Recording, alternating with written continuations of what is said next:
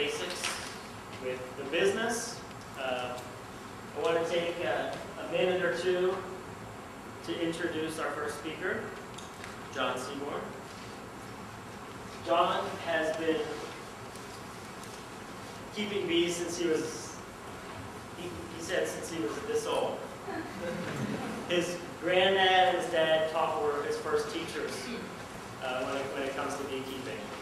Um, and he kept bees at a time when, in the good old days, when things were a lot easier in terms of keeping bees, you never needed to do any kind of treatments. You just didn't need to. The bees just did their thing and very hands-off. Um, he got married in 1968. His wife, Ruth, who is also a, a pretty sharp beekeeper in her, in her own right, uh, and continued beekeeping. About six years ago, uh, John started working a little bit with Don Fat Bee Man Kuchenmeister. I don't know if you've heard of him. He is a uh, organic commercial beekeeper in Georgia. Um, and Don started teaching John some of the commercial aspects of beekeeping, how to work with sending out packages and, and, and stuff like that. So John and Don have a relationship there. Maybe someday we get Don to come up here. Um, I personally met John about three years ago when I ordered bees from, from his company. His company is Wolf Creek Apiaries. They're based in Centerville, Tennessee.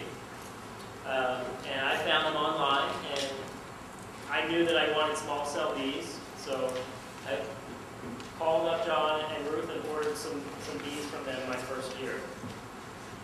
Uh, I will say a few things. The bees are extremely gentle, hardworking, and, and they're survivors. And I think, you know, having talked to John a lot, I think that kind of comes down from him. Because that's sort of the kind of guy he is. Um, he's extremely generous and kind with his advice, especially to a uh, new beekeeper like myself at the time and still now. Um, for example, uh, the time when I was installing a, a package and, and, getting everything set up and putting the queen in, oh, oh there she goes. I called John and Ruth in, in a panic. They, they, they talked me down and, and calmly said that everything's going to be all right. We'll take care of you, Adam. And, and, they did. They got me a new queen in the mail talked me step by step on through what to do. And so just very uh, helpful and, and, and, generous kind of guy. And he's full of stories. I remember a phone conversation. I got him talking about some stories, and one that stuck in my mind was he told me about a, a new beekeeper who, who got the three-pound package of bees and thought that the bees could live in that package oh. and just stay there, and he didn't have to do anything with them. So that was that was a good one. He's got a million other ones. Um, so uh, one last thing. A couple years ago, I remember saying on, on the phone to him, today's the first time I've met him in person. Oh, John, someday we'll we'll get you to come up to Philadelphia and talk to our bee club. I was kind of joking about it. Well, here he is today. He made the drive from Tennessee yesterday. And welcome, John Seaborn.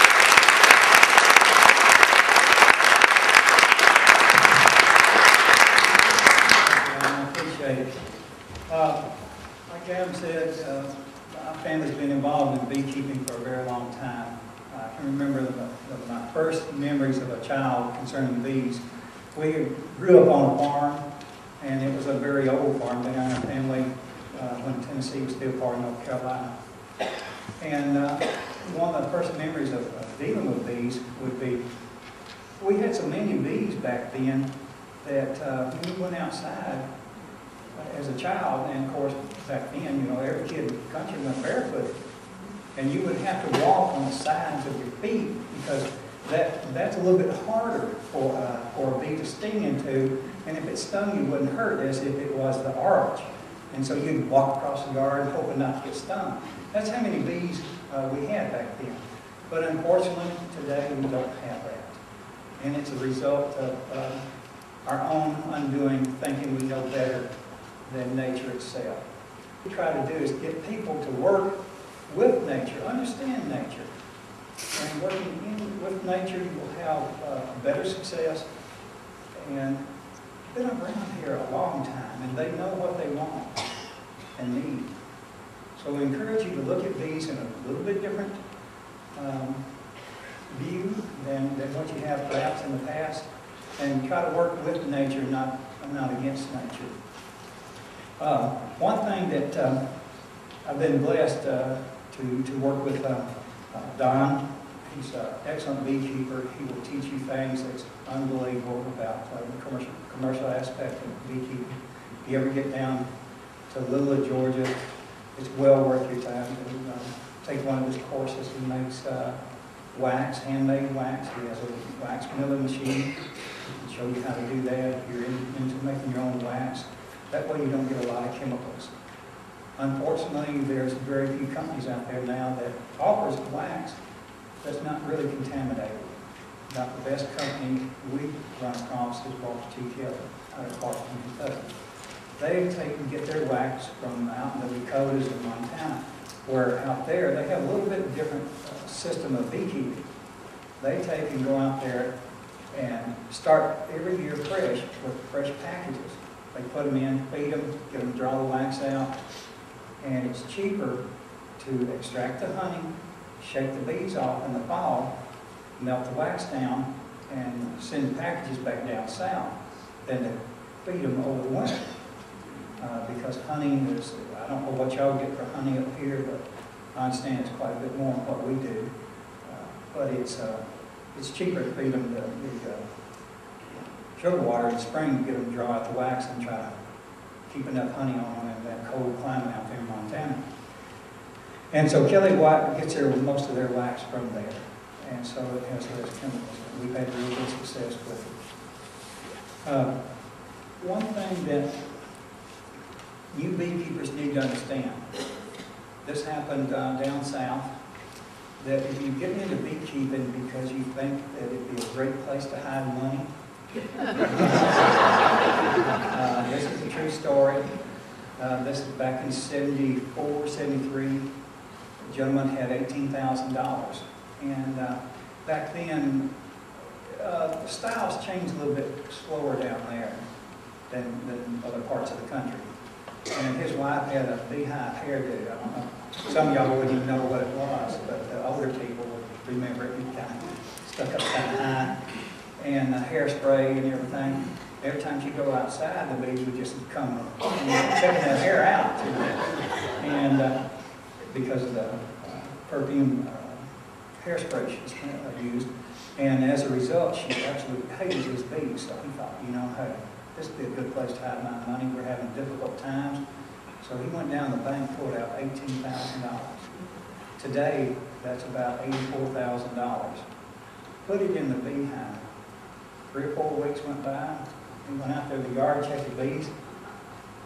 What in the world? He found green confetti out there. The bees were chewing up his money and putting it out. If it doesn't belong in the beehive, the bees will get it out. So don't think you're going to hide your money in the beehive. And, uh, But uh, they eventually um, ironed out their differences, but they're a little bit uh, not as well off as they were. Now, uh, something about beekeeping is that unfortunately we, we have um, stories that have been passed along like um, a, a- bee brush. You know, everybody know what this is? A lot of people call them bee agitators. All right. Well, maybe perhaps we're not using it correctly. Maybe we've been taught wrong. If you'll look at a frame uh, that's drawn out, you notice the cells are put in at a 45 degree angle. All right, that's for a reason. They do everything for a reason. They just don't go willy-nilly around. You know, we'll try it this way this week or this way next. So they draw those cells out, and that holds the uh, nectar in, so the moisture can evaporate. Evaporate, and as a result, if you learn to use that technology that they've come up with, take that frame instead of rushing down like this, you're breaking those little girls' backs because they got their heads stuck in that cell cleaning out. Well, you're brushing it, you're gonna make them mad. So if you learn to work with nature, take that frame, turn it upside down. Now, the cells are pointing downward and out, so that when you brush, you're, you're gently pulling them out, so they won't get bent out of shape. And so that's a, a will be a real big help to you in, in dealing with your bees if you use a brush. Another thing that we've all been told is that if you have bees over there and you want them over here, you have to take them and move them two miles away, keep them a little while, and then bring them them back here. That's not correct. You can take, move those bees right there to right here the same day. But the trick to it is understanding the bees. The little girls have a three-day memory.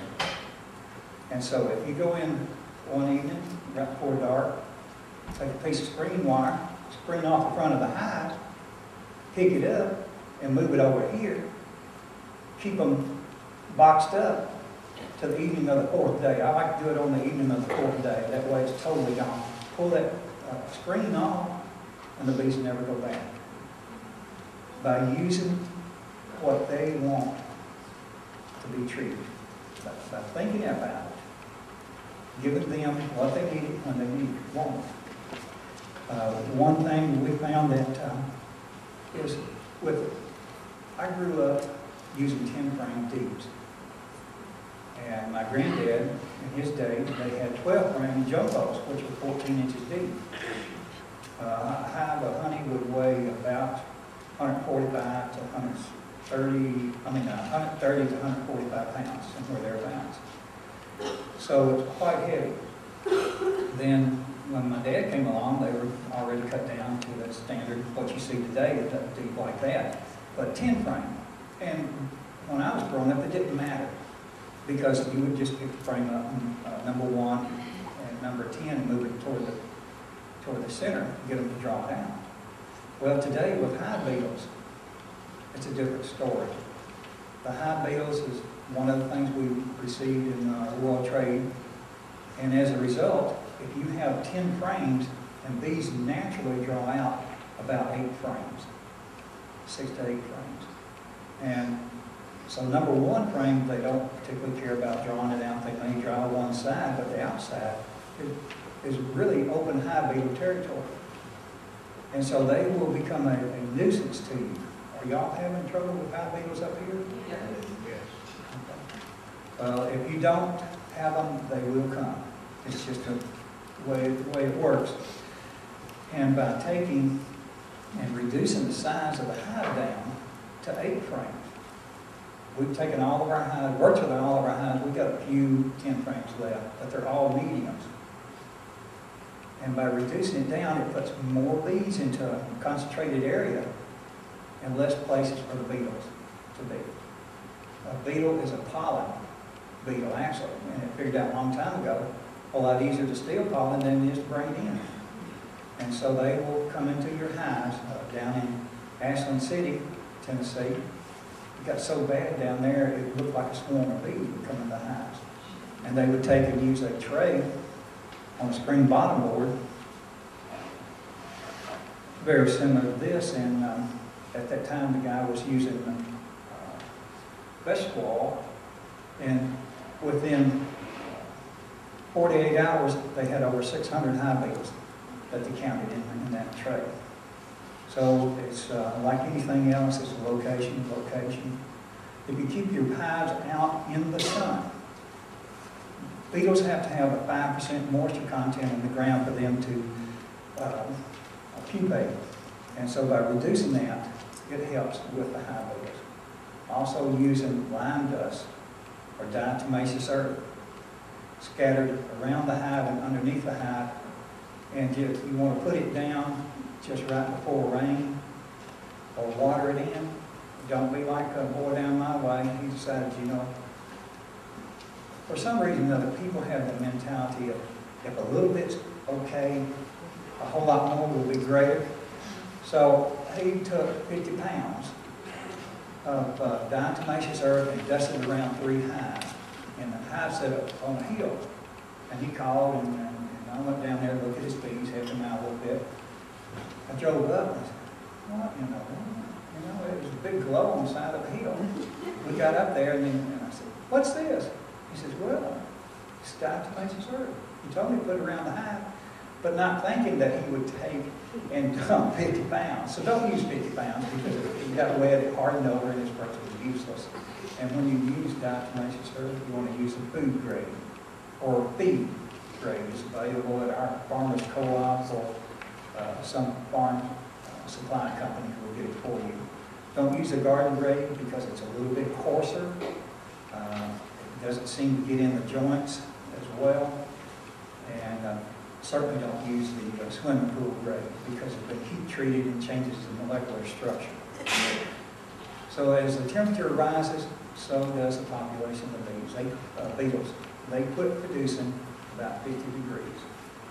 And then as it gets on up about uh, 64 degrees, 86% of them will hatch out. And then when you get up to 86 degrees, 96% will hatch out. And it only takes uh, about 10 hive beetles to run a hive. 10 female. One female can lay 200 eggs a day. If you have 10, that's 2,000 eggs a day. Times seven, so you can see how that will really add up in this time over 14,000 hive beetles running around. And hive beetles come in different colors. And the reason for that is, when they first hatch out, you may see a little red-looking bug. Uh, and on the slides a little later on, we'll see a hive beetle. But they can be red when they first hatch out. And depends on the amount of pollen available to them, they will be in different sizes. Sometimes they will be quite large, and then other times they'll be a little bit smaller. And, and uh, I don't know if we can pass it around, but uh, for those who haven't seen a beetle, I've got a, uh, okay, I'll catch. Y'all just pass that around, that gives you an idea of what they look like, if you haven't seen one. But there's natural ways of dealing with them. And uh, one, one thing that Don taught me, and uh, hopefully it will save you from paying the stupid tax.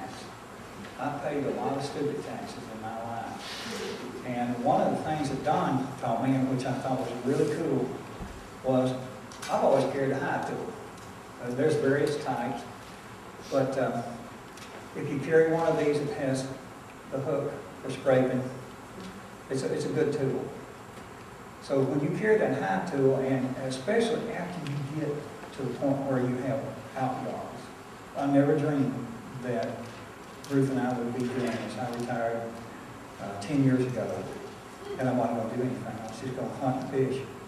But, but uh, I'd have a few bees, and people would uh, come by and uh, run off the road nearly, because we lived kind of curved. They'd be watching, and next thing you know, they'd be over in the ditch.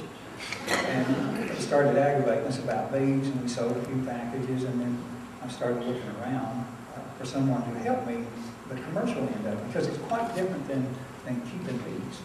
So I went to Don, fat bee man, and one of the first things he told me about hive tool, it can be your friend or your enemy, especially when you have outlying yards. So you need to learn how to put it in your, your, your pocket. So if you take and put it in like this, into your pocket, you get in your truck or your car, guess what? You're going to cut your seat all up. And mama's not going to be happy. So if you'll take and always face the hook to you, you'll never tear your seat of your car or your truck. So that'll save you some of that stupid tax. And um, so I've been, like I said, I've been very fortunate to have people in my life to help me to uh, keep from paying stupid tax. And um, so there's uh, one of the other things I encourage you to think about. Right now, uh, I see a lot of young people here who are in good health. But sooner or later, nature takes over, and as you get older, the hive will become heavier. So I encourage you to use eight frame medium for two reasons. One, it standardizes your equipment. Because if you get out outlying yards and you have to go to those yards, it never fails. I'd be out there, be one box short, whatever, it didn't matter, it always worked out, you'd be one box short, and you had to go all the way back to the house, and then all the way back over. So if you have a one box system, you'll always have either a honey super or a brood chamber. So it's just so much easier to operate in that way. And also, there's only two types of beekeepers. Those with bad backs and those who are going to get them. You do the bees long enough, you will get a bad back. And so by using eight frame mediums, it will help reduce the chance. And it's so important that a lot of your major honey producing companies now have gone, of course they use ten frames, gone to ten frame mediums because of the reduced workers' injury. So it will help you in the long run. Uh, So if you have just getting started in beekeeping and you have these, you cut them down, lose a little bit of the frames, but that's a whole lot better than paying seventy, eighty thousand dollars for a back operation.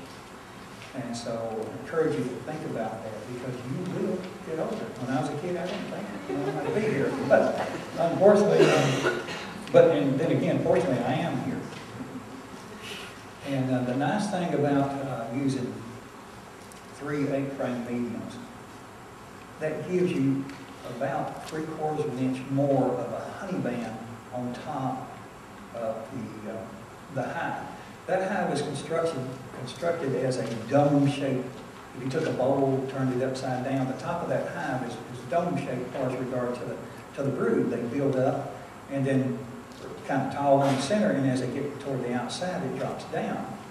And so by having a larger honey band, it's less a chance of that queen crossing. By increasing it, it tells her, oh, we don't need to be up here, this is our honey storage, so they'll move back down.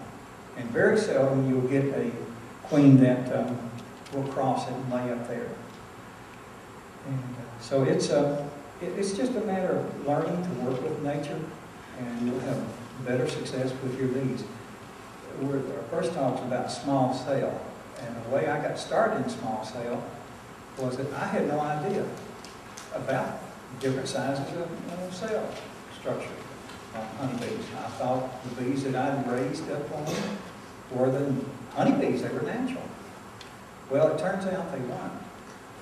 And so the way we got started is that uh, one of the farmers in our community sold his farm, he had had bees. And he had a stainless steel extractor, and I needed another one. And so I got hold of Neil, we went out there and looked at it, and uh, we liked it, made a deal. And on the way out, to, back to the truck, Neil said, hey, I got some bees down yonder in the corner that uh, I had about eight years ago when the hive died from the uh, roll light. And uh, he said, you're welcome to them if you want them. I hadn't put anything on them. And treated them, they were either going to make it or not because uh, he was so disgusted trying to keep bees with the rolling lights and the tracheal mites coming in. And so I went down there and took a look at, looked, looked at them and found that uh, they were in good shape, but there was something different. Of course, you know, wax moths clean up a hive and then over a period of time, that's nature's way of getting the hollow tree ready for another set of bees to come in. And so they had already done their thing and damaged as much as they possibly could and got it cleaned up. And these bees had drawn the wax out in the frames. Ninety percent of the frames were just as nice, drawn out as they could be. A couple of them, because the frames were kind of cockeyed, I think there was one frame missing out of a box, and that frame was cockeyed, so they drew it out kind of anti-godly.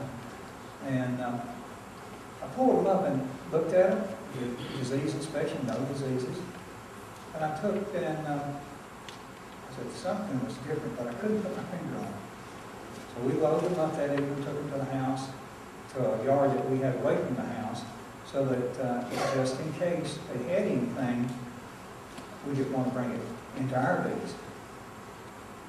So the next meeting of our beekeepers club, we, my wife went out there with me, she had a big Ziploc bag, and I pulled a frame out, shook the bees off, and set it down in there.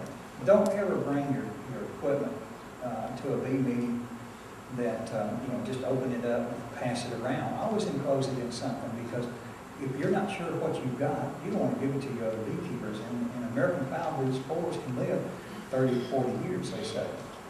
I've never seen it, and I hope and pray I never do. But uh, she opened the bag, I set it down in there, and she sealed it. And then the next meeting, I took it to the club. At that club, I'm very fortunate, this is one of the other guys, uh, Joe Sines, that's come into my life. He's an excellent beekeeper, but he's one of those beekeepers that will not tell you nothing unless you ask. And he will tell you everything. And uh, he is a really knowledgeable individual. And that, at that point, he told me that's what I had was the natural size bee.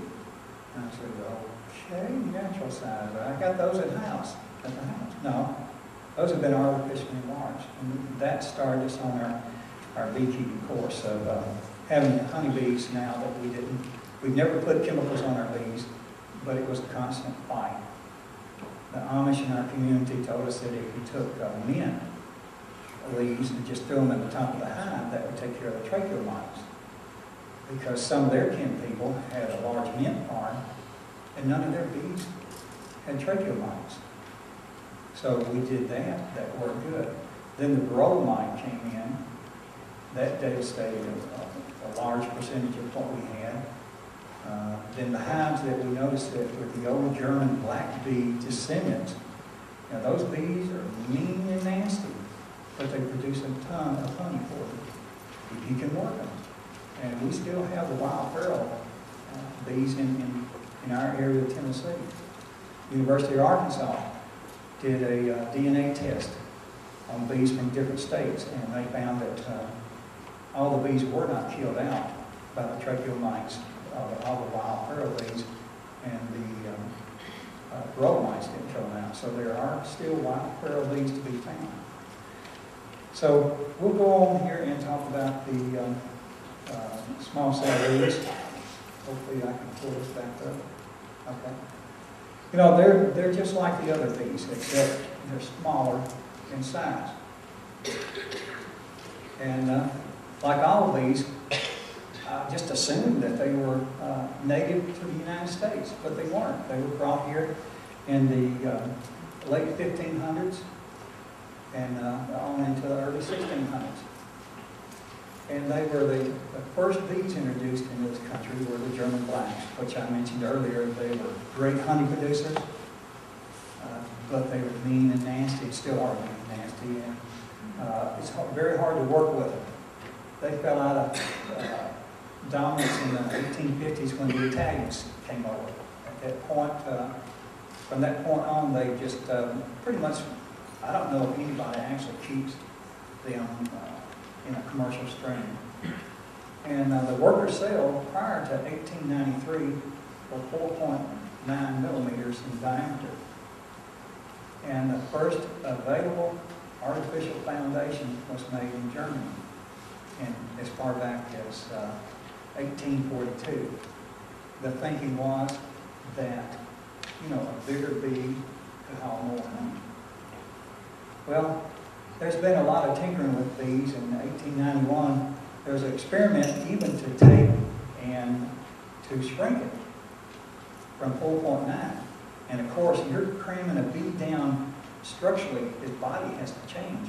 Whereas if you enlarge that cell, it stretches to a certain extent, kind of like a rubber band.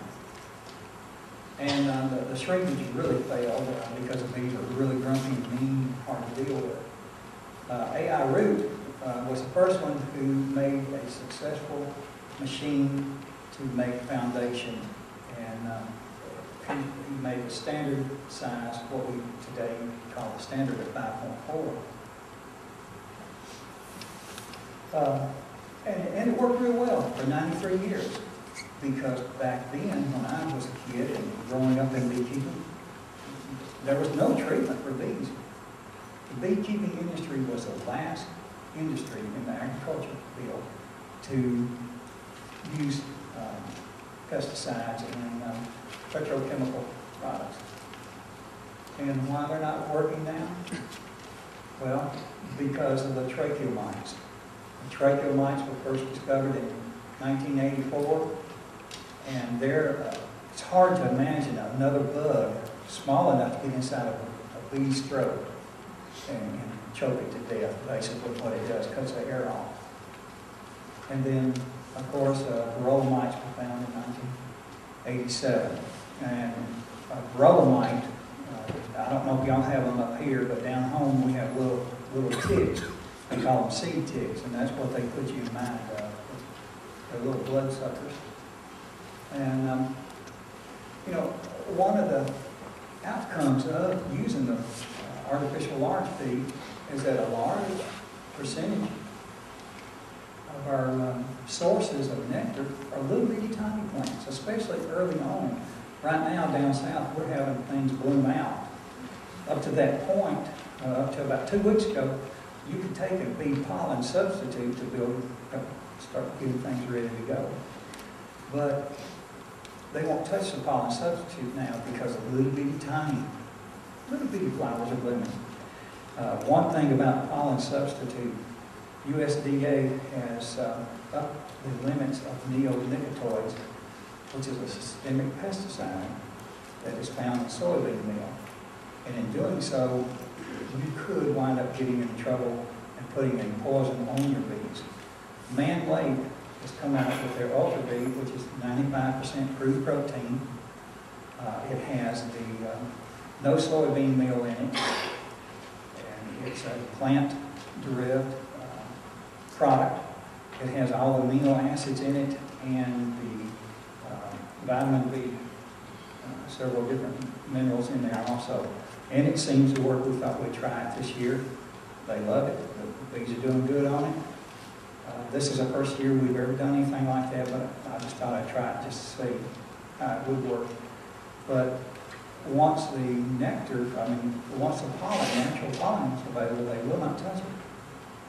So when they enlarge the bees, there's a lot of small flowers, and some of the first flowers that bloom are your little bitty tiny ones. And the muscles, the black muscles of the um, 5.4 bees, it's just like a rubber band. You put it around your fingers and open it up. That's what happened to the muscle structure. They didn't get more muscle, they just stretched it. And that's the reason why uh, the European bees are having a hard time being taken over by the Africanized bees. The Africanized bees are 4.9. And as a result, it's like comparing a uh, 5.4 as being a big bomber and a 4.9 bee, a drone, uh, being the fighter jet. Who's going to get there first to the queen, the fighter jet or the bomber? Of course, the fighter jet. And so that's one way they take over the European colonies, is through replacing the queen, through mating with, with her and getting the uh, European genes out of the situation. And, uh, of course, the, um, the 5.4B has a larger tracheal tube. As a result, another bug inside that chokes them to death. And the uh, 5.4 roll mites love to breed in a drone because it's a much larger cell. They can do multiple breedings in there. And with it being a larger cell, not only they breed in the worker cells, whereas before it was just strictly the drone cells.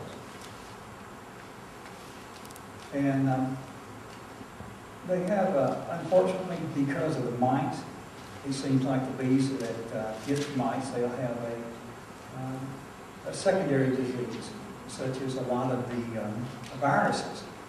And that virus problem is because of us as beekeeper or, or the industry has bred bees since 1970 to not produce as much pollen. Propolis.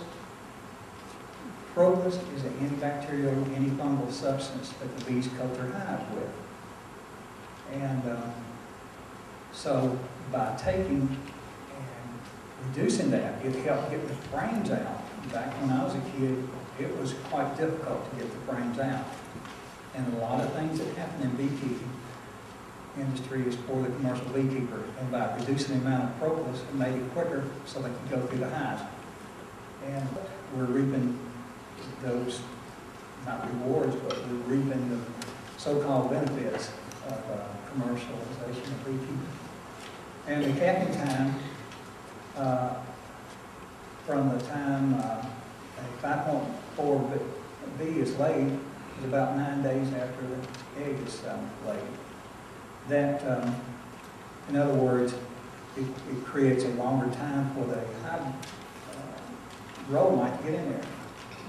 And it, and it's up to twenty-one days after the egg is laid, it will emerge. And if you notice, the little seed tick looking things. Okay, if you look, you can see right there, that's on the back of the bee. Right there, there, that's usually where you'll find them, or under their abdomen, right there. If you notice, this is a drone, see how much larger that eye is? That's a drone, and they, look at the number of mites, one, two, three, four, five, five mites. Whereas if it's a worker cell, it wouldn't be quite as many. Well, why the natural size? Well, because uh, the nat, these bees were designed, or have evolved, however you want to say it, uh, to, to take care of their, their hives in, a, in a, such a fashion that it's uh, production, they're able to do everything in a, in a, in a manner in which benefits the hive and, and carrying on their genes. And so they're able to get into smaller flowers. Their flight muscles are more dense, so they can fly faster. And of course, they have a smaller tracheal tube. And varroa mites basically will only breed in the drone cell. And they reduce secondary diseases due to uh, not having such a high mite, mite level. And the capping time for 4.9 bees is eight days instead of the um, uh, longer period uh, of the larger cell. It it emerges in, a worker uh, will emerge in 19 days instead of the usual 21. And um, small cell bees, you have more cells per frame. And uh, on a medium, give you an idea how many more cells of worker cells you'll have. You'll have 520 more on a medium foundation than you would on a uh, large cell frame of medium. And so it's a number of bees that make the honey. I would rather have one colony of 60,000 bees than two colonies of 30,000 because the colony with the 60,000 bees, it's a concerted effort. It's a winning combination there. It's kind of like a football game, you know, when, when the team is winning, everybody's up and doing, doing real good. And, but when they start to lose, you know, they can lose confidence. And you only have a hive of 30,000 bees. They're not as confident as a hive of 60,000 bees. And this is a kind of a, a flub right here on the part uh, Jennifer. Uh, she's a very knowledgeable beekeeper. It's got some good bees too. Um, they put an article out about uh, small cell really doesn't work.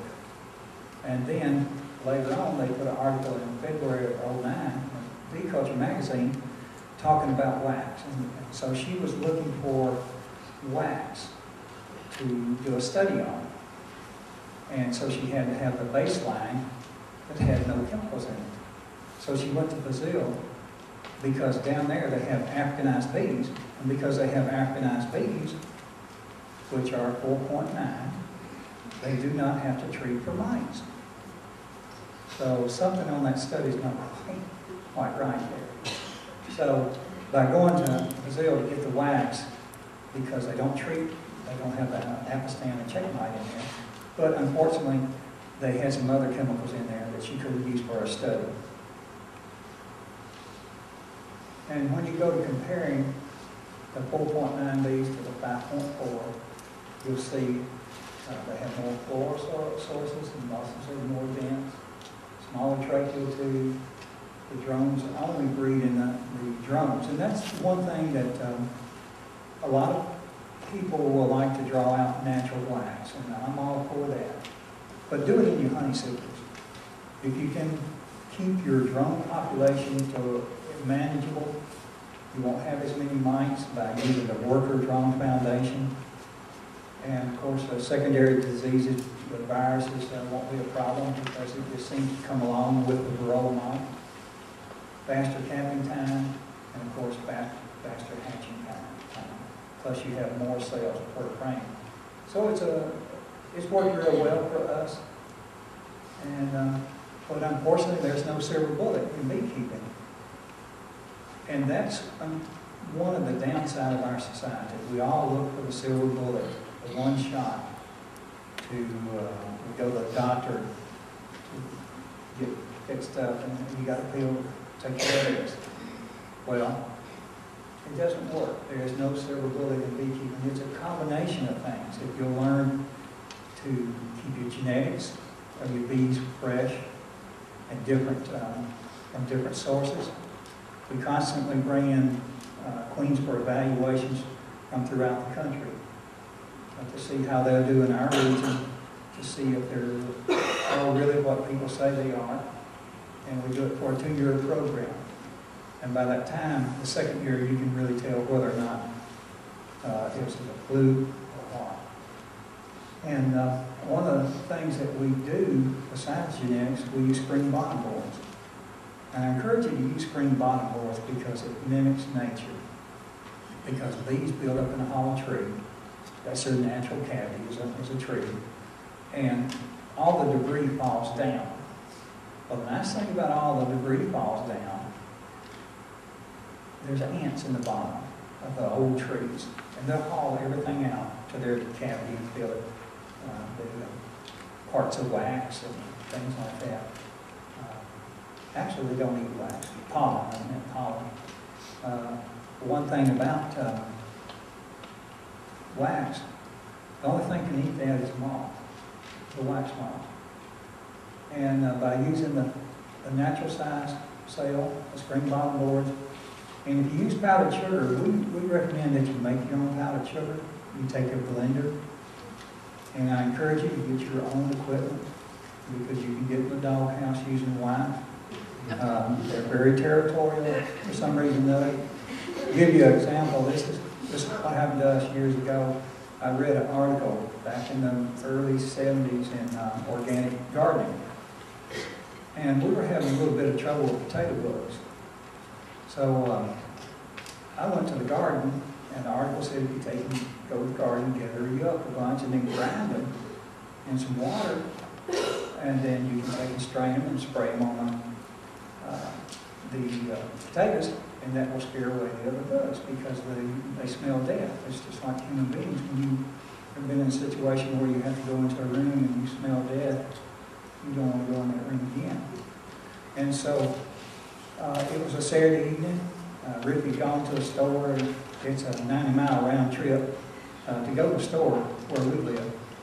And so I said, all right. So I ran in the house, got her blender, filled it full, uh, a cup of water, and then filled it full of these bugs. And they turned it on, and man, I really whizzed them good. But unfortunately, it was too big for the sprayer, so what in the world I use to strain this? Got the bright idea. Went to her lingerie drawer, pulled out pantyhose. Pantyhose is the best filter in the world. So I strained it through, and this is on Saturday afternoon. Well, made two mistakes. One, I didn't clean the blender up, I just set it on the counter. And they just say, uh, but it did work, the process did work. Potato. But um, she turned me in and seen this mess in the, on the counter there, all the bugs ground up, and so I got chewed out about that. Well, I didn't tell her nothing about the pantyhose. oh man, I got this made now. Well, Sunday morning comes, she went to get dressed. She runs into her drawer, and she forgot to buy a pair of pantyhose. And she couldn't find a pair of pantyhose, and she just immediately turned and looked at me and said, what did you do with my pantyhose? So, I encourage you guys, uh, get your own equipment. It'll save you a lot of, um, discomfort. Mama's not happy, nobody's happy. So that, and that actually happened to us. And so from that point on, uh, every now and then I will slip up. But for the most part, I kind of have my own, uh, cooking utensils uh, as far as working with the bees. And of course, uh, herbal treatments, um, such as um, lemongrass oil and tea tree oil will, will help your bees. Everything we use on our bees, the bees work naturally. And uh, the bottom line is to work with nature and, and not against it. And of course, we have become a society that we're dependent on chemicals, and, and they have failed us. This is something of interest as far as working with, with nature. And if it wasn't important, bees would not do it.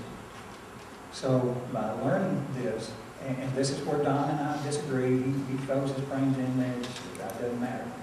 But if you want your foundation to draw out really smooth, just as pretty as it can be, if you'll take your foundation, and if you'll notice in the bottom of that, that foundation, drawn out foundation, uh, of manufactured type, and even in natural size, uh, you will see a Y in the bottom of that cell where these three plates come together to form the bottom of the cell. Well, if you turn that frame 180 degrees around, you will find that that Y is now upside down. So if you always put that Y to the inside of your hive, you will find that the foundation will be smoother. It almost, it's unbelievable how slick it'll be. And uh, so if it wasn't important, they wouldn't do it. So they've got five frames. You're using five frames, you face it upside down Y this way.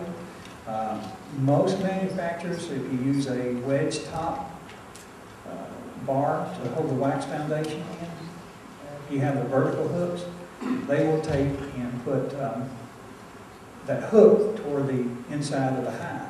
So you just feel that uh, frame wedge, you'll know that that goes to the center. If not, take your pencil and mark down one side on the edge, on each end, a little mark so that you'll be able to see what goes to the inside. It'll save you a lot of time and trouble. If you don't believe this we'll make a smooth foundation, take your hive and try it. See if it doesn't work. And that's something I encourage people to do. Get out there, try it, take your hive, try things on. You hear something? Well, think about what you're hearing. One thing I encourage people not to do, especially up here, is some of the books you'll read about installing queens. And they'll tell you, just take the queen cage, lay it in the bottom, on the bottom board. Well, bees cluster. And cluster is to hang. And if you put her on the bottom and it turns cold, the bee's not gonna get around her. And she, she'll chill and you'll have a, a damaged queen. So always suspend your queen from the top. Don't put her on the bottom because it's difficult for bees to cluster and queen on the bottom. We had people last year that read a book, and I don't even know the title of the book, but uh, they were talking about how to install a package. But that's fine if you're in Florida. But in Pennsylvania, don't do it. So look at the author, find out where he's coming from before you make any decisions about um, how, how to go about doing things. So, if uh, you have any questions, you can call Trevor uh, over at Long Apple Springs, or you can call us. Uh, Sometimes I'm not in, we, I'm allowed take a message, and we will call you back. It may be a day or two, but uh, we will call you back. So, Because we don't want you to make a, and pay the stupid tax, because we've done just about everything uh, that you can do wrong to bees. And so that's the reason why I went to Don to learn about the commercial aspect of beekeeping. So I think we're gonna go on to the, oh, all right, uh, okay. All right. Uh, we have a website, uh, just in case you didn't get the handout, organic treatments, you can download it, and it's a PDF file. There's another, uh, like a calendar, a beekeeping calendar for the um, different uh, months of the year, so you would just have to rework it for your agriculture zone. It's also uh, brochures, John's company has brochures out on the tables.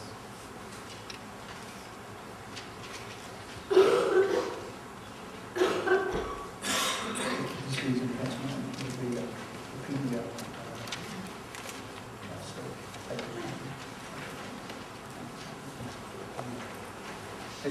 I'm not real sharp on computers. My wife's a lady that handles that at our house. And, um, the one thing about uh, using natural treatments, you need to know, you need to know what you have.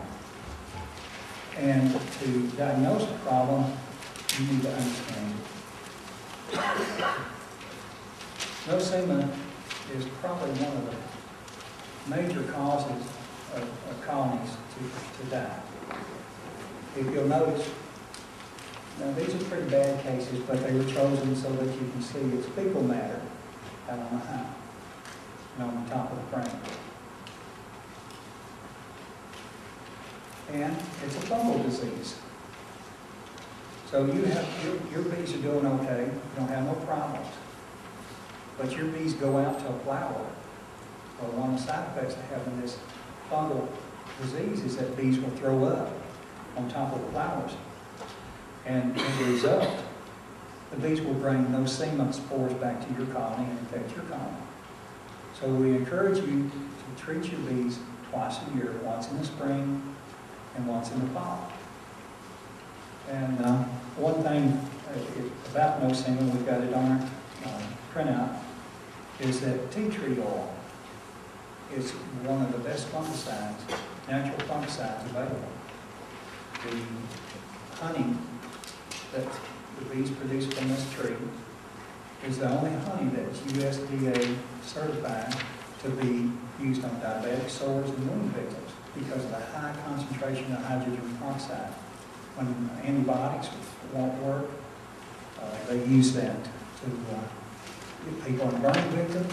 I've seen pictures of of burn victims, third degree burns, and they put that honey on there. It's really amazing how little scarring that the individual will have.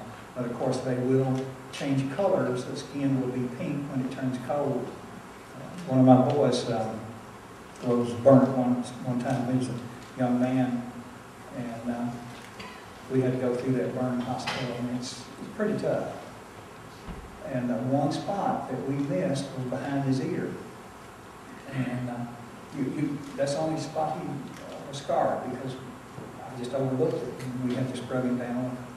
And a solution they gave us, and it was pretty tough, so don't play with fire like he did. Uh, then you'll find that uh, the uh, feces on the walls of the hive, the bottom board, and the outside. Now, this is different than when you get a package and you install it. If you get a package out, shipped to you, uh, the bees are, will not use a bathroom in the cage un- until about 10 days. And then after that, they just can't hold it any longer. And so you may find a, a little bit on the front of the hive when they come out, but to fly, they've got to go real bad. But it's elongated. Whereas if you notice, these are splotches. And uh, there's quite a big difference between that and bees flying out. Uh, you'll see bees crawling aimlessly on the bottom boards. And the were really looking uh, reckless. Uh, they, they're restless, so they don't have a real clear direction. And then may even get to the point where you'll see quivering or trembling, and maybe even see advanced stages of paralyzed legs. Uh, flying will become impaired, and of course the wings will be kind of cocked at a different uh, than normal position. Their stomachs will be swollen. And the midgut, if you take and pull it apart, will be of a dullish grayish white uh, color. And the ring, the midgut section will have actual rings around it in a healthy bee. So if you want to know what a bee looks like, you pull it apart, pull the head off, pull the midgut out, and you'll see that the uh, healthy bee will have rings around the, uh, the gut. And for nosema, the use of tea tree oil. We use it once in the spring and once in the fall. And the way that you use the tea tree oil for nosema, you take a mixture of uh, water in a cup of water and put it in a blender, your own blender, not your wife's, um, because it will leave a, a- a taste in it. Uh, I got caught a couple months back. My wife drinks a uh, shake protein drink in the morning, and uh, I don't want to go out to the beach yet. I'm just mixing up a little small batch from uh, some bees, and it was um, lemongrass oil.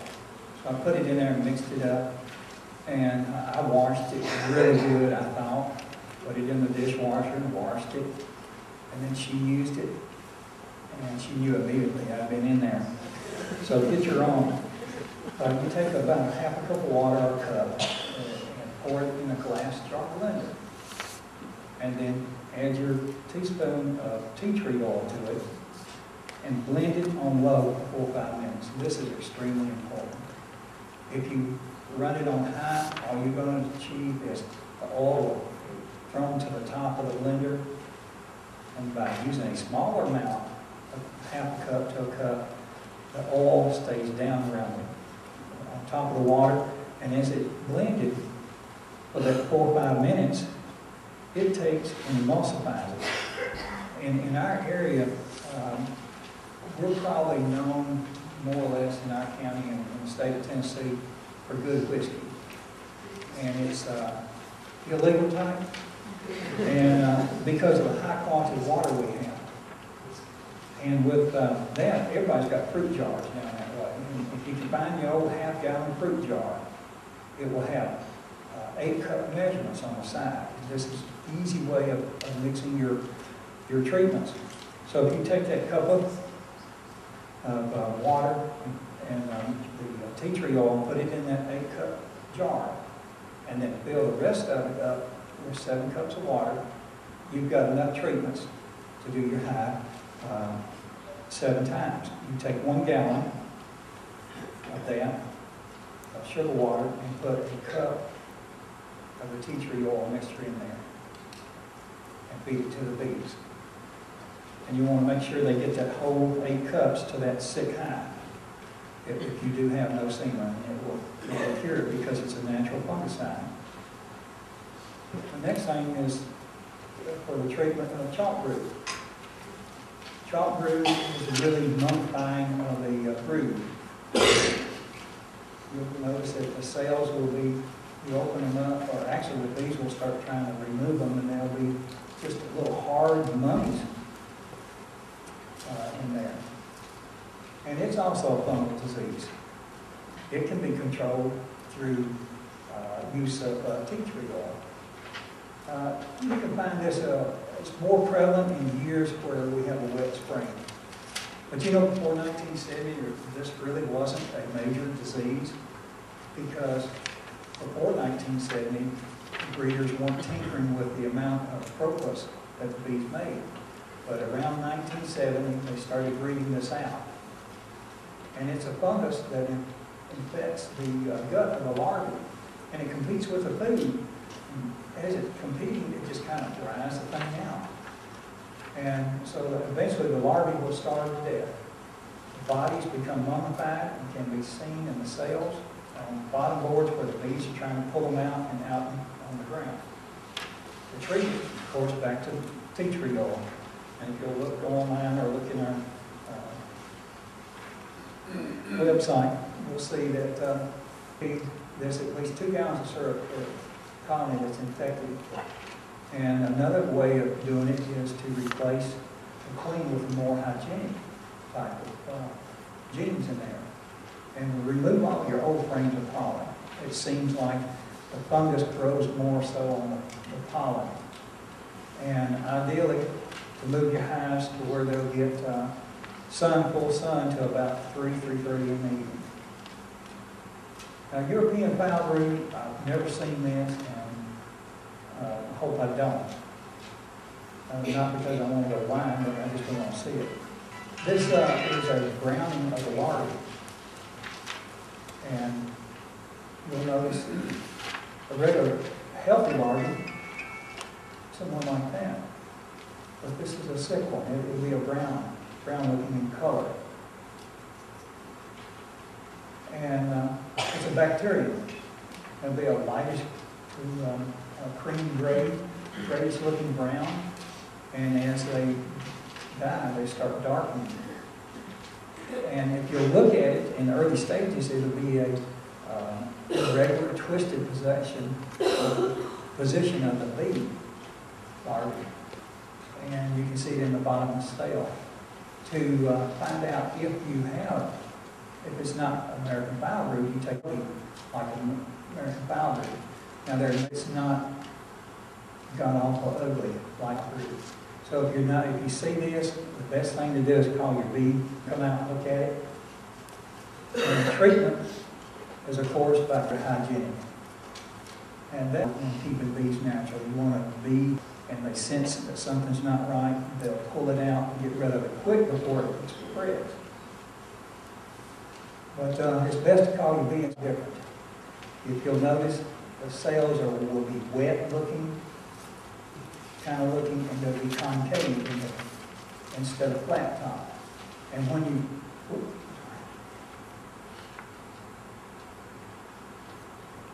and when you take and use a match, you punch, push it in the hole, and you see how far that pulls out? It's quite a ways. And then when it, you pull it out a little bit further, cell, it's real stringy. And of course, it's a a bacterium also. You'll find uh, it has an irregular brood pattern instead, instead of being compact. The larvae has been dead for a long time. It will be extremely difficult for the bees to pull out because they just kind of get slimed in there. And um, of course, they'll, they'll be, larvae will be light brown to dark brown and upright, but not twisted in the cell. See, that's a giveaway point right there. Whereas with European, they have a twist to them. And um, compare it to healthy larvae, uh, healthy, moist and wet, uh, greasy looking than dry. Caps will be concave, and a lot of times you'll find them with holes in it, they tell me, where the bees are attempting to remove dead. And the smell is awful. And number seven, and this is very important, it's very contagious. And um, it's uh, bees that demonstrate hygienic behavior. But you really need to call your bee inspector if you think you have it. And in our state, all hives are required to be burnt. And I encourage you, do not ever buy used boxes. And the reason for that is, this is what happened in our, our uh, state. About 190 miles from us, um, a family had bees, the grandpa had them. Well, the great grandkids come along, they decided they wanted bees. And so they were given the hives, they cleaned the hives up, painted them, got them all looking nice, and then took and um, kept what they wanted and sold the rest in the three county area. As a result, they did not realize that grandpa's bees died from American foul brood. Those spores can live to 20 to 40 years, some people say. And as a result, the state came in and burned 52 hives because they hadn't been infected by American foul brood, because the equipment had been used and the individuals that uh, put it out on the market did not know that um, it could be, uh, have disease in it. And uh, all metal tools can be put in the oven. They need to reach about 130, 140 degrees, and then that will kill it. And gloves and clothing needs to be, and bee, bee suit needs to be uh, burnt. Now this uh, little jewel right here is the varroa. That is the seed tip of the bee. And if you'll notice, varroa mite the little girl has on. Um, One of the uh, visible signs, of course, are, and you won't see this until they get a large number of this into your colony, is that you can actually see the bees on the, uh, the, the body of the bees. You can see the seed tip of the roll line. And you'll find a deformed, uh, deforming of the legs and wings. Uh, bees being discarded out in front of the hive. If you have a hygienic hive, they will take, pull them out. Uh, you'll see it, and you'll start seeing, uh, when they pull them out, you'll actually see the, the, uh, line on there. Spotty brood pattern. Bees are a pale, the mites rather, are a palish, uh, reddish, brownish in color, and um, they, they're quite easy to see when they're on the uh, pupa. And the treatment for mites, of course, is the use of drone comb. And the thing about drone comb is a very effective way of treating it, but you've got to stay on top of it. Because when you set it in there, the bees draw out the wax, and then they start laying the eggs, one lays the eggs for drones, and then the mites attach to it. Once they cap it, you need to pull it out right away.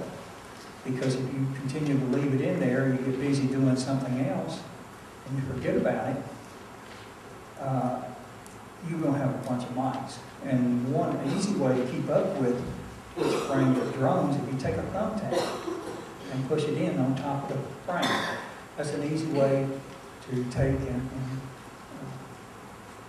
be able to identify which is a drone's capped. And you want to pull it out, put it in the freezer 48 hours. We like to take and um, uh, take a stainless steel scratching tool that you use to extract honey with, run it across the top. It just makes it a little bit easier for the bees to remove the uh, dead leaves. Now, if you're a fisherman, uh, that's uh, when they get them camped like that, and you wait just a little bit longer, maybe a couple of days more, and they start making a real good fishing bait. Down south, that's what we use for fishing bait, with drones. And uh, of course, you use the 4.9 bees, uh, sugar dusting. And when you make your sugar dusting, we encourage you to take and use uh, just household sugar, four ounces per box, put it in a blender and turn it on low. Do not turn it on high, because if you turn it on high, it's gonna, uh, you can scorch it. And the bees, uh, as a crewman, they will not be able to digest it. And of course, this right here is what's in- interesting. Has been out since 1996. And it's a great way to kill mites. But, and there's no money in it. There's no silver bullet to sell you. You ever wondered why we've gotten that way? Think about this. When you have high blood pressure, you go to the doctor and you talk to the doctor and he says, we can treat your high blood pressure. You have sugar diabetes? We can treat your sugar diabetes. You'll never hear anything from your doctor about curing. And the reason for that is, back in the fifties, the last thing the medical field has ever cured was polio. And it put so many people out of work, they figured, oh, we don't need to do this again. And so it's now, it's treatments, how can we treat? Well, this is a cure. This will, this will stop your rheumatoid, but it needs to, and the reason we don't tell you exactly how to do it, and we don't tell you how to do it on our, our sheet here, is that once again, as human beings, we think a little bit, we had a whole lot more, would be a lot better. Well, if you put a whole lot more, you can actually kill your bees. There's a natural threshold there. And if you get two less, the nice thing about getting two less of the wintergreen oil is that the bees uh, that do have mites uh, in the cells, that those mites will not reach maturity uh, sexually. And so it interferes with that.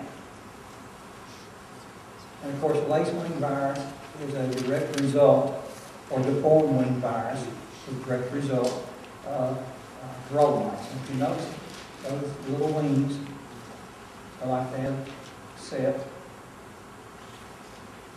And uh, you'll find them crawling around on the ground in front of the hive because the little girls can't fly. They have disjointed wings, they're deformed, and uh, the adults will be uh, disfigured. We have come up with a um, natural essential oil mixture that you mix this into one gallon of sugar water and feed it to each colony that's infected. And um, it's very effective. It's a three-part mixture that uh, we've played with uh, over a period of time to, to get it right. Now, this is the hive beetle. This is the pollen beetle that we were talking about earlier. This is a mature pollen beetle, and it's a hard shell, and it's split down the center and has wings. They can fly, and some people say up to five to 20 miles. They can smell a colony in, in distress uh, that's being attacked by other hybrids. This is what they look like in comparison. Now, these are full grown with plenty of pollen for them to eat on. You notice how big they are compared to the honeybees. The black, it's a black beetle seen running around. Usually when you open your lid, you'll find them uh, on top of the hive. And adult males will deposit eggs in masses in any of the little crevices. They'll tunnel through the combs, and as they tunnel through, they will take and uh, defecate in it, and it causes fermentation. I don't know if y'all have fire ants up here, but uh, we have. And to save the combs, you can actually place the fire ant, uh, the combs on the fire ant hill, and they will clean it up. But they will not utilize it and have good, uh, good wax. And um, the small hive beetle is a larvae that uh, feeds on the pollen and through the hive uh, for about six to, uh, for 10 to 16 days. And all that's depending on the weather and the amount of pollen available, and then they will actually crawl out and pupate with the soil. And to show you how determined they are to get, uh, Joe Sides went to a house, a lady complained she had um, bees in the wall in the basement. They went there, but they were infested with hive beetles to the point where they were just, larvae were just falling out, and the lady thought they were baby, baby bees. So Joe, these uh, sticky board traps, and in the basement was 60 foot long, and he placed them out there, and those hive beetles would crawl, and of course, as they would get, the board would get full, more would crawl over the top, eventually would get to the door. They were trying to get to the door, and that's how many hive beetles was in that wall. And um, of course, the size of the beetle will vary due to the amount of pollen for them to eat. And like we talked about earlier, it'll be a reddish in color when they first hatch out. And unfortunately, they can live up to six months. They'll eat cantaloupe, uh, uh, pumpkins, they'll winter over, and if you have a lot of um, strawberries, they'll winter over in strawberries. And so the best thing to do is uh, keep them out in the sun. Um, Better Beetle Blaster is a real good trap. Do y'all, is anybody familiar with that trap? All right, what it is, it's a trap that's put out from a beekeeper down in Florida. And it's basically like this. It's a clear plastic trap. They're selling as disposable trap. What we do, uh, it's recommended you put oil in. And if you have oil and it never fails, you put a quarter inch of oil in it, you set this down, it's gonna fall over. It's gonna spill oil everywhere. So what we do, we use hyd- uh, hydrated lime. You can buy 50 pounds for $8 down our way. We take, put a quarter lime dust in the bottom of this trap. And place it in the hive toward the outside of the colony. And the reason for that is there's less bees out there. And when you put it in, you want to put it to the outside back, where it's the darkest. Less bees are out there. And that toward the front, the bee space has not been changed. You want this down flush, the only place it's been changed is toward the back. And by keeping it flat, the bees will chase the beetle in there and up and over into the trap. The beetle gets its feet, uh, little suction cups with the um, dust on and can't crawl back up. The down using one of these traps is that three to four weeks you need to go in there, pull it out, take it, turn it upside down, tap it, and empty it. And the reason for that is as the beetles start to die off, they start to decay and they start stinking. And the other hive beetles can smell it. And so they wait from this area where there's known to be death. So you want to, want to remember to always keep them clean. Empty them out, uh, or you can dispose of them if it's, uh, if they get bent to where they're not usable. This is another available. This is AJ Beetle, Beetle Beetle rather. If you use this trap, need to take and get you some bread ties and tie, tie it together. Because if you don't, you go pulling it up, it'll come apart and your oil will leak all over the hive. So if you use this, you need bread ties. It's like five bucks if you buy hundreds. So they're quite reasonable. If you buy just a few, I think they're under about a dollar fifty. And it's a very effective to take care of the beetles. The, um, uh, the use of cortex trap. This, um, is something that, and we use it, um, also, but we've taken a little bit to a different level. Whereas with, um, Don, you take and use the political signs. That's what, is, is the, um, the messages isn't that good anymore. And of course, you take and you cut them up into little squares or rectangles. And they're two and a half by four inches. And when you do that, you want to make sure the two, the tubes are on the ends that is uh, the two and a half inch way. Take you about six of them, take you some Crisco, seal this, flip them over, and put two teaspoonfuls, and seal it with Crisco. Take one of them and place it on the bottom of the screen bottom, just right at the back, about three quarters. Well, what that has, what that causes is a runway for the beetles. They love Crisco or any kind of shortening. The older the better. Once again, use your own knife. And they will eat their way into that Crisco and then will eat boric acid. These things last about three, three, four months. Depends on your infestation of beetles. Well, what we did, we took the step, that's as they come in the hive.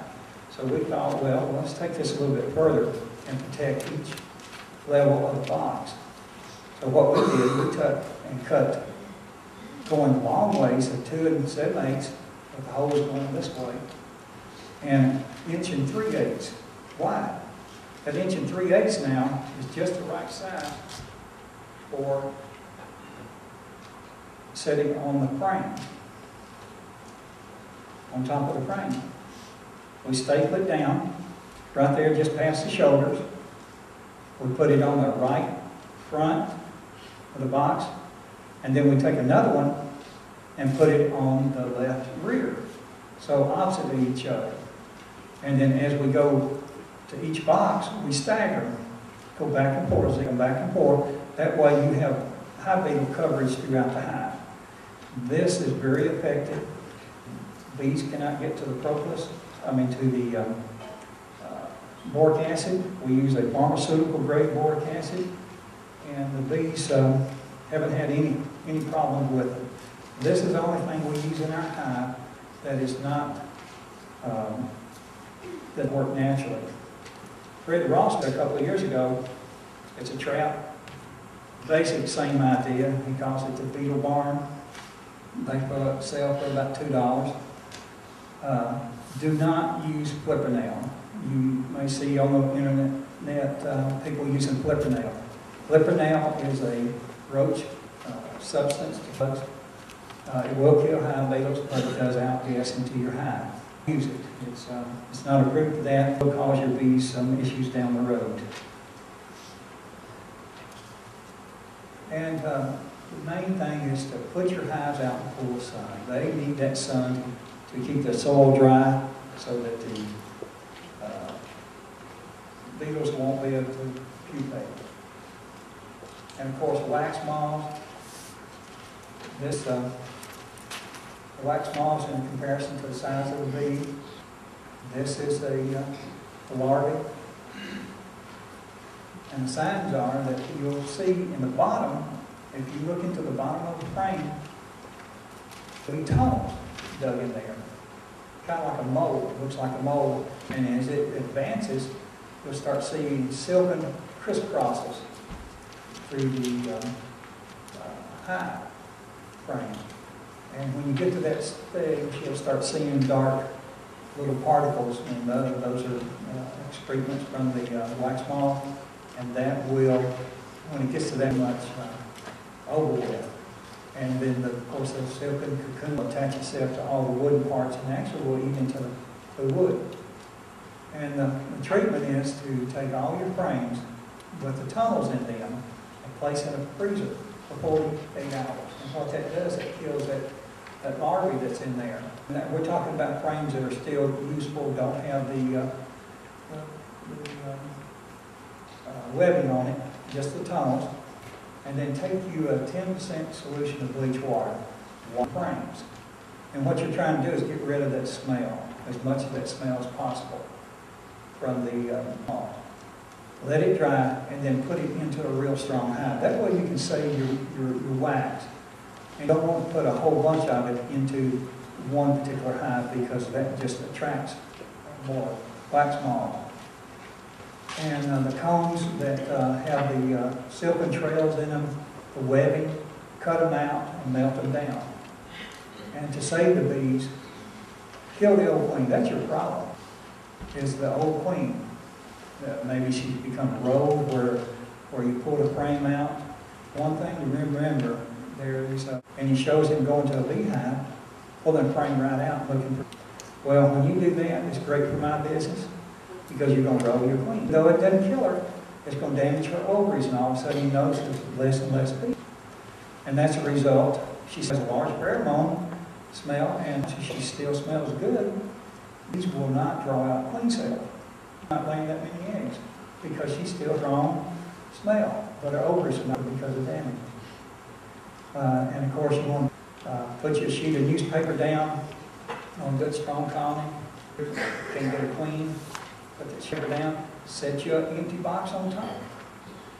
Shake all, and then before you do that, take your knife and cut you about three or four slits in the newspaper running between the frames. Uh, and then shake all the bees off into that empty box. And put, uh, them in there, and then put a uh, feeder on there and feed them. Stores that have no, nothing, you might want to put them in there. But what will happen is they'll be so excited about getting that paper out. And again, if it doesn't belong in the hive, they're going to drag it out. And so the bees from below will come up, start taking it out, then everybody has a work ethic um, of of their, their way they are, they'll get it and combine the colony together. And so if you've got some, um, boxes are still good, you can wash them down in ten solution of bleach water. And of course, uh, rinse them off and let them out air dry. This main thing is to keep a strong, productive queen. You won't have, uh, of course, tracheal mites. Talk a little bit about those. These are actually bugs in the trachea tube. What they look like. And you'll, a sign just walking around, bees not being able to fly, very hard to detect without dissection. And in our state, we can send them to the state and they will dissect it for you. And usually it's about um, three to four weeks. And treatment, of course, you can apply that. The thing about applying it, you, there's a threshold. Uh, If it's uh, over 80 degrees, you can take and uh, place it on the bottom board because menthol evaporates and goes up. If it's below, you want to place it on top of the frames so that the smell will go out the bottom of the hive. And it works best between 60 and 95 degrees. And of course, uh, a new that shows tracheal mite resistance is, is the best way to do it. And uh, so back to that again. So if y'all have any questions, you can kind of give us a call. But uh, how are we looking on time? Still got five minutes, Uh, 25 minutes still. Okay, I'm going to show you a few things that um, we picked up and how, how we work